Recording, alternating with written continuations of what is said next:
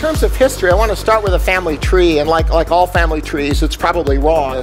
Though Scrum came from many sources. It was partly, um, partly some of my work, it was partly from uh, his work at West Point. Lot, most of the things that are in Scrum you find in, um, in military training. Extreme programming came from Scrum in 1996, and then this, it kind of died. And then Agile came from all of these. And one of the points I want to make is Agile came from Scrum. Scrum did not come from Agile.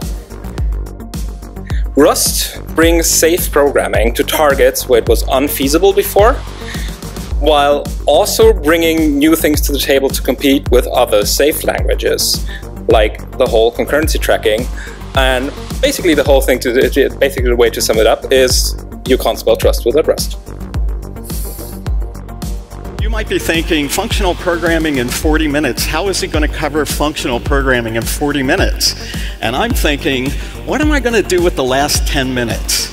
Because I, I think the whole theme of this talk is that functional programming has been mystified, and people get very excited about new technologies.